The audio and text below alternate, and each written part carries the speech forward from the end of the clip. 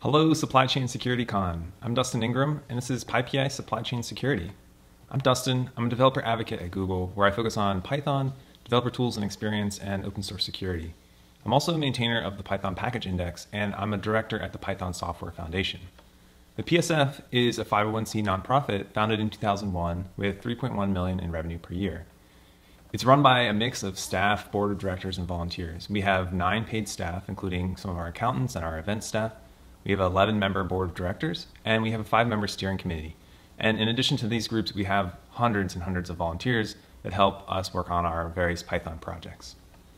Some of the key projects of the PSF include CPython, which is the Python you probably are most familiar with. This is uh, first created in 1991. We also run PyCon US, which is the largest uh, global Python conference. This was started in 1993 and generates about 65% of the PSF's income. And we also run the Python Package Index, which was started in about 2002. This generates 0% of the PSF's income, but about 95% of the PSF's liabilities. The Python Package Index serves uh, about 900 terabytes a day and more than 2 billion requests per day. It's the canonical repository for Python software, and it's extremely popular. Um, our estimated cost would be about $2.3 million a month to run the index. And I go into a lot more details about this in the blog post linked to here. Um, luckily, a lot of these costs are borne by our in-kind sponsors, including Fastly, AWS, and Google Cloud. So we don't actually pay that much a month, but the service takes quite a bit to run. I want to highlight some of the recent projects that we've done with PyPI and the packaging space and Python in general, and how they relate to supply chain security. And I'll talk a little bit also about some in progress projects later and also uh, what some of the stuff we have planned as well. So one thing that we did in 2018 was a full stack rewrite of PyPI. PyPI had been around and basically had been the same service since uh, the 2000s, and we needed to basically modernize the web application that, that sits behind it. So with uh, $170,000 of funding from the Mozilla Open Source Support Grant, uh, we hired a team of contractors and we did a, basically a full stack rewrite from the ground up of PyPI. This was successful and allowed us to add a lot more features that I'll talk about in a second to PyPI built on this, this new platform. Uh, the first thing we did here afterwards was uh, in increase accessibility and access. We added internationalization localization. PyPI is now translated into um, more than 10 different languages. Uh, we also introduced API tokens for the first time. Before that, uh, authentication was just basic HTTP, username and password. And we also added two-factor authentication, both TOTP and WebAuthn. So now you can use security keys to authenticate with PyPI, which is great. And that was with funding from Open Tech Fund. Um, we got about $100,000 of funding from Facebook, and one of the things that we did with that in the past was add some prototype malware detection. So PyPI is an open index, which means that anyone can publish anything to it, and we've actually spent a lot of time uh, making PyPI easy to use and easy to publish to. And while that's been great for our community, it's also meant that we've had a lot of spam and malware and, and folks just trying to publish generally not great stuff to PyPI.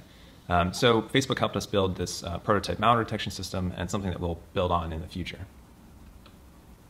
Another thing that we've done recently with help from Mozilla and the Chan Zuckerberg Foundation is we introduced a new and improved dependency resolver for pip. So pip is the canonical Python package installer, and it's uh, the command line tool that reaches out to PyPI and determines you know what you should what artifacts should be installed from a given request to install some software. Um, we improved the dependency resolver. We gave it basically a proper dependency resolver. It allows it to um, actually do the right thing when you ask it to install some packages. And we also did some UI and UX studies and testing uh, around the, how people use the pip and how people use the resolver. We have a couple in progress projects as well that I wanted to highlight. So one of these is with support from Bloomberg, we were just able to hire a packaging project manager um, for the next two years at the very least. Um, this is a really critical role for us because basically a lot of Python packaging and the projects that I just mentioned were either run by volunteers or uh, hired contractors. The PSF staff doesn't spend a lot of time working on PyPI and various features around Python packaging in general. These are mostly community projects.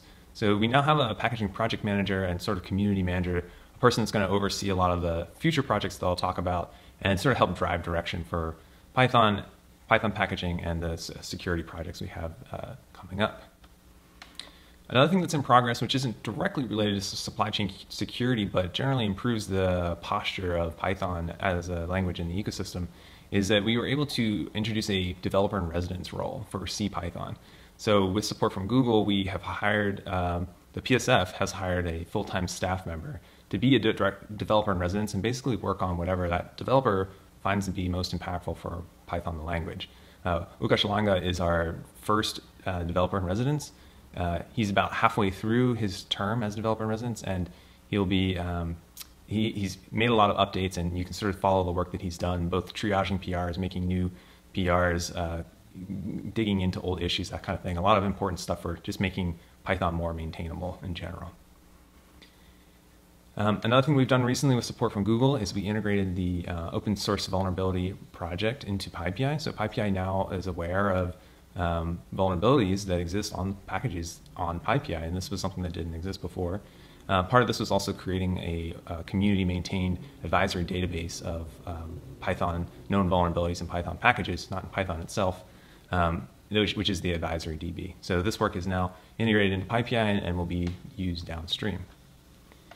Another project in progress right now is uh, introducing the update framework into PyPI.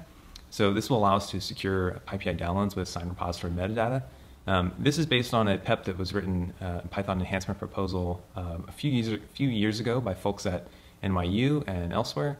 And um, this will basically introduce TUF into PyPI to allow us to sign, uh, allow PyPI to sign the package artifacts and uh, metadata about those artifacts so that people can verify them on download.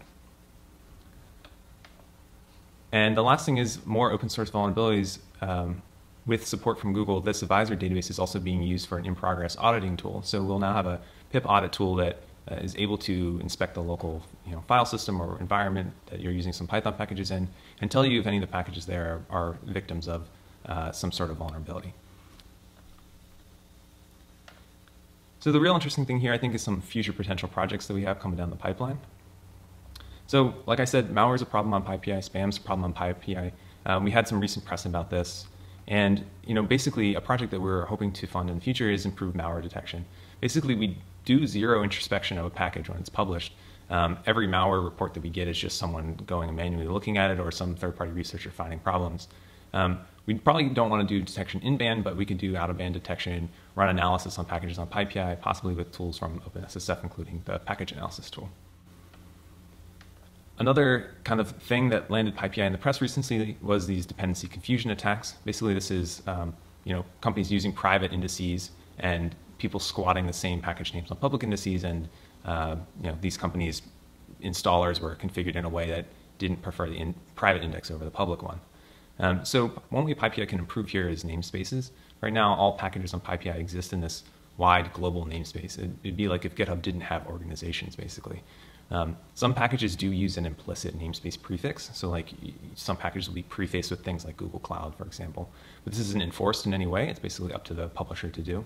Um, introducing namespaces would basically remove or reduce the ability for these kind of um, dependency confusion or typo squatting attacks because that would allow PyPI to block a private namespace. So uh, a company can say, this is the namespace for our private package, just prevent anyone from publishing this on PyPI. Uh, another thing, which is a pet project of mine, is that um, basically, you know, and I found this quote on Hacker News the other day everything on PyPI is just random artifacts uploaded by whoever ran a build script on the machine. It's nuts. And yeah, uh, that's absolutely true. Um, the way that distributions are published to PyPI is basically a really mixed bag. Some folks do this in GitHub Actions or Travis CI, uh, other, you know, Google Cloud Build, those kind of things. Sometimes they're just running these scripts on their machines, building the artifacts there and uploading them. And there's not a good way to derive uh, the provenance of a built artifact from a source repository or something like that. We don't have a you know an easy way to directly link source to a built distribution in that way. Um, so one project that we're considering in the future is build, introducing a canonical build and published service. Uh, not just tools to do this, but an actual hosted service um, that takes away the, the, need for the user to have to do this stuff manually. Basically, give us a source file, and then we'll build the publications and put them on PyPI for you sign them and do all the like best practices there. Um, and this also you know, helps us get around some of the problems of introducing new features like TUF, which is actually getting maintainers to use it. Usually, um, you know, support for these things land, and then it takes a long time for them to be adopted. Uh, if we owned a canonical publish, publication pipeline, then we could introduce these tools, and everyone could benefit from them immediately. And lots more. We have lots of other ideas for projects. We actually maintain a list of fundables uh, here in this repo. So that's all. Uh, I wanted to thank you for listening. If you want to sponsor our work, you can go to pypi.org slash sponsor, or you can email me directly, di at python.org, and you can follow me on Twitter, di codes. Feel free to reach out. Thanks, and take care.